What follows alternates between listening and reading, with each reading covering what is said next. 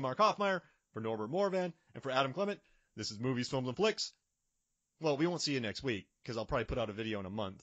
I always say this and then he's so we'll see you at the next video, but thank you very much. Bye.